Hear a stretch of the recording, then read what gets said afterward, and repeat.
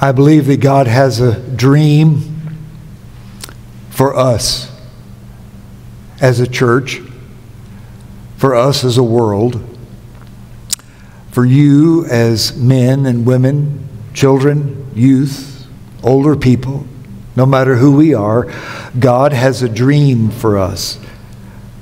And God's dream for us is always good.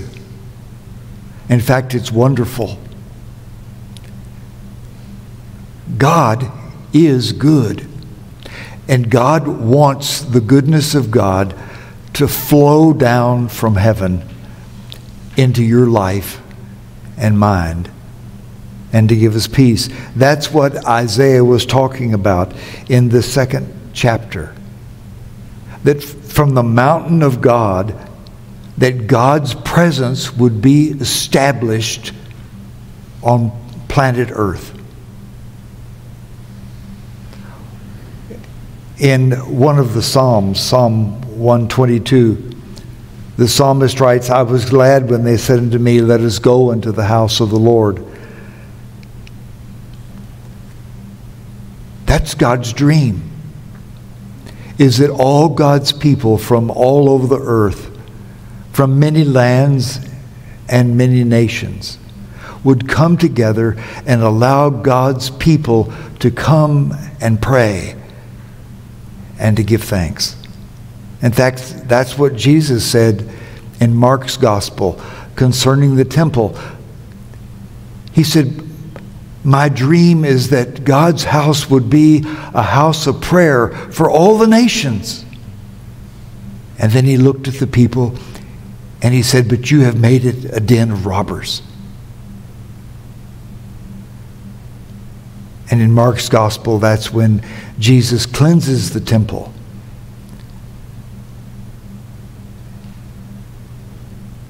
God's dream is that we live together in peace. God's dream for your life is that you have abundance, that you live in the power of the Holy Spirit that you begin to wake up from the slumber of the world around you and you begin to live in peace. In Romans chapter 13, Paul writes, Besides this, you know what time it is, how it is now the moment for you to wake from sleep. You see, Paul had a dream for the early church. He wanted them to wake up from their slumber. He wanted them to be the mighty, peaceful, powerful people of God. Paul writes Salvation is nearer to us now than when we became believers. The night is far gone, the day is near. Let us lay aside then the works of darkness and put on the armor of light. Let us live honorably as in the day, not reveling in, in drunkenness, nor in debauchery and licentiousness, not in quarreling and jealousy. Instead, put on the Lord Jesus and make no provision for the flesh to gratify its desires. This is the word of the Lord. Thanks be to God. God wants us, as the people of God, to dream again.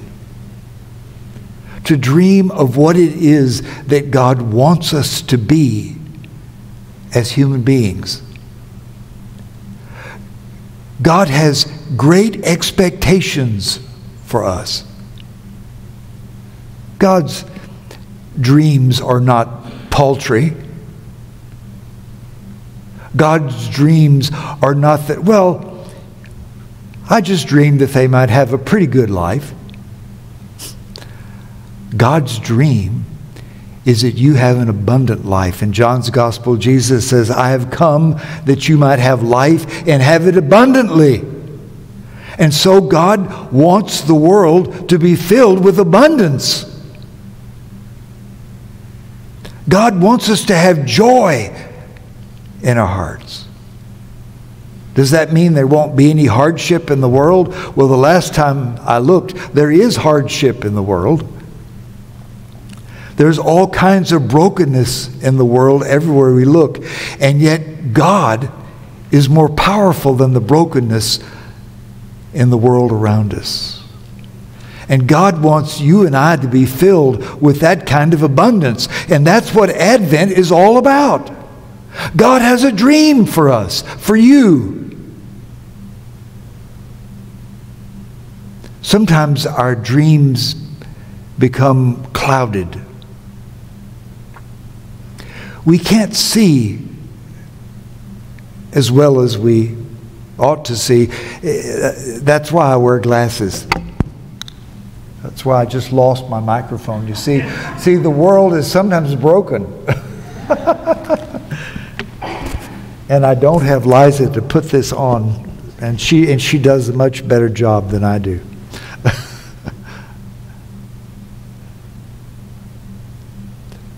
Paul says, we see through a glass darkly.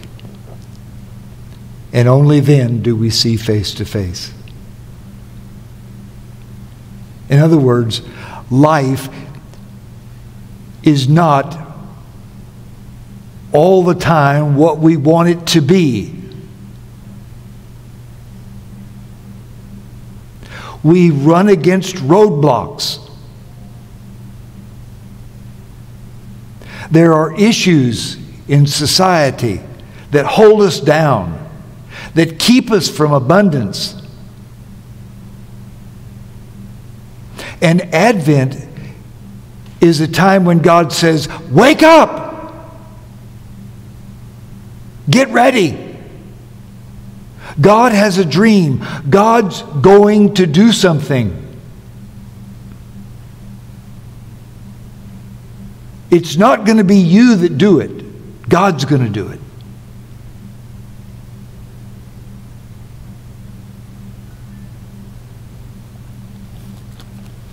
in Matthew's Gospel, chapter 24, verse 36. About that day and hour, no one knows. In other words, I don't know what's going to happen in your life and mine. I'm not a predictor of the future. But I know that the future is in the hands of God and that God wants us to be ready for it, to be prepared. About that day and hour, no one knows, neither the angels of the heaven nor the Son, but only the Father. For as in the days of Noah, so it will be at the coming of the Son of Man. For in those days before the flood, they were eating and drinking, marrying and given in marriage until the day that Noah entered the ark. They knew nothing until the flood came and swept them all away. So too it will be at the coming of the Son of Man. Then two will be in the field, one will be taken, the other left. Two women will be grinding meal together, one will be taking, and the one will be left. So keep awake, therefore, for you do not know on what day your Lord is coming. But understand this if the owner of the house had known in what part of the night the thief was coming, he would have stayed awake and would not have let his house be broken into. Therefore, you must also be ready, for the Son of Man is coming at an unexpected hour. This is the word of the Lord. Thanks be to God. So, what does it mean to be prepared? To be ready for God's unexpected event. Now, in one respect, we all know what's coming because God's already sent his son Jesus into the world. But in many respects, we don't know what the rest of today will bring or what tomorrow may bring, or next month, or next year. We make our human plans, but we don't know.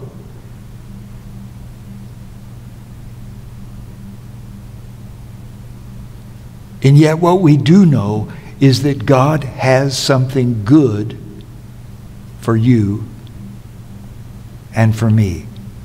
In the midst of the darkness, the first candle of Advent, the light, shines in the darkness. As I was thinking about this, I want you to think about three things. The first thing I want you to think about is that God wants people like you and me to be joyfully generous in the way we live. That means with our time, with our talent, with our money, and to be joyful about it. One of the things that we do in this church is we have a pledge card. If this church is going to succeed, it's not going to be because we have $4 million in the bank. It's going to be because people like you and me give of our time, of our talent, and of our money. Because we believe that God has given to us in the person of Jesus Christ. And so that's why we give.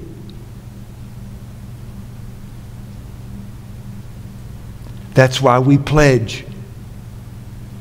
Because God has given so much for us.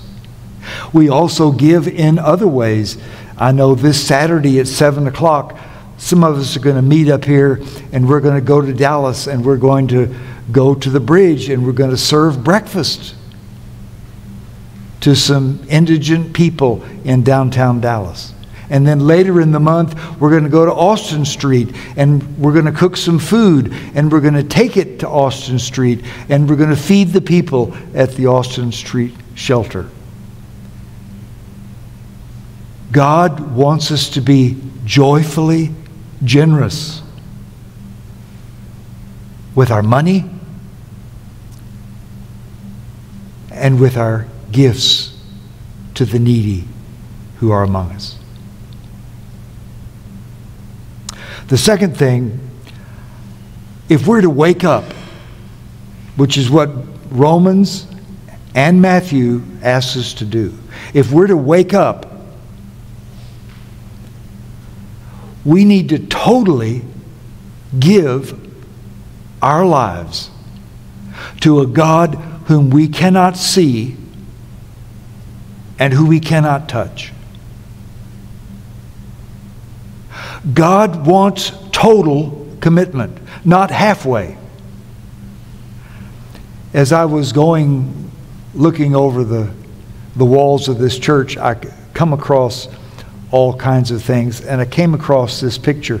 It is an old picture of this church down in downtown Dallas.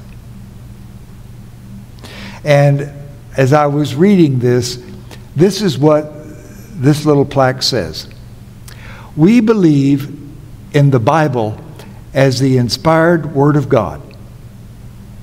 And we believe in God's Son, Jesus Christ, as the only Savior of mankind. If this church is going to wake up, you know, several Sundays ago we celebrated our 130th anniversary. If we're going to be around in the next 130 years, maybe we need to get our act together. Maybe we need to refocus on what is of ultimate concern in our lives. And what is of ultimate concern can't be us. I'm not ultimate. I don't know any preacher who's ultimate. Now, do y'all know some preachers that are ultimate? I know some preachers who think they are.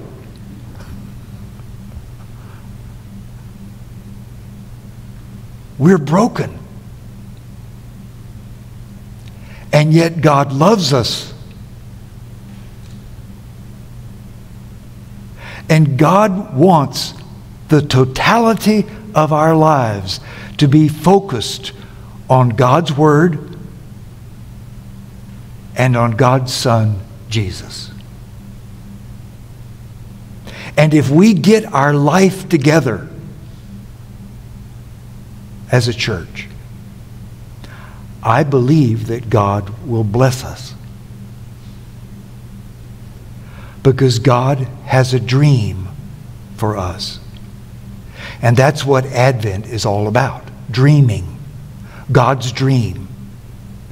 And God's dream begins and ends with Jesus and God's Word. The third thing that we need to wake up about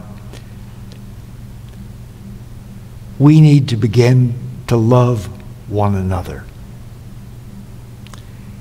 deeply. The scripture says that love covers a multitude of human brokenness and sin. When we in the church begin to love one another, when we begin to love our neighbors as ourselves, when we begin to quit reacting to little piddly things that are wrong,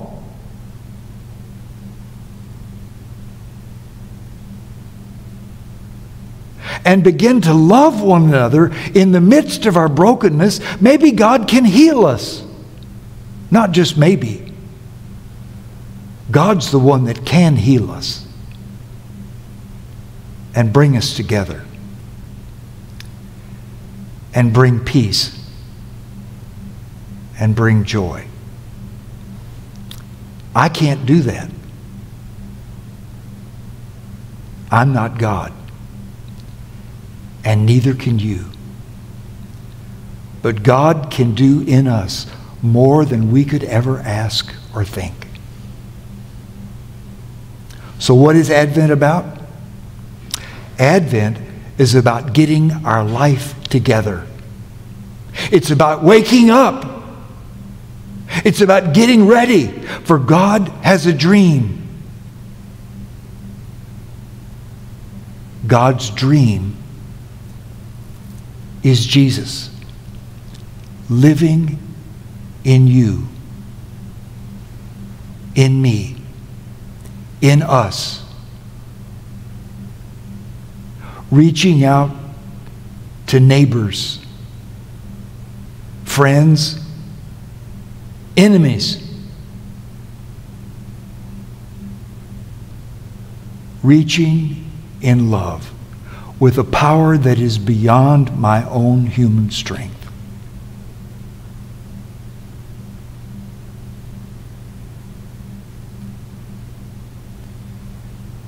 And that's the question. Am I willing to dream with God?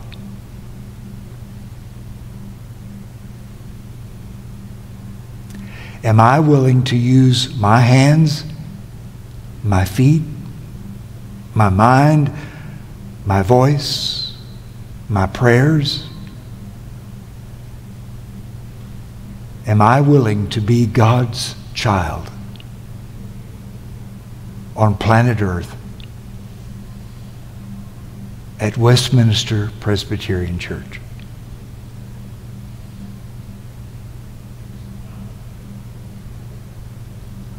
What is God calling you to do this Advent?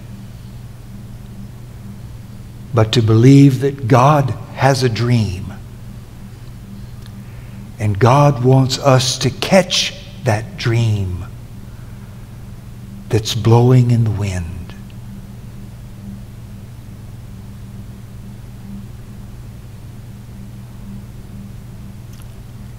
Are we ready? Are we willing?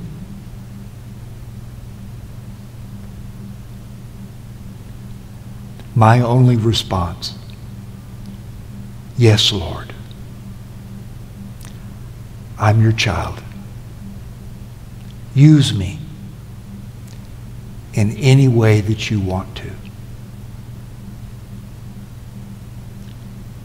Let us bow for prayer. Father in heaven, we are thankful for your love and grace. We are thankful the way you have poured out your lifeblood for us, dying on the cross for our sin. Lord, give us courage to wake up and to allow our souls to cry out with a joyful shout that we're your children and that you're our good and gracious God. It's in Jesus' name we pray. Amen.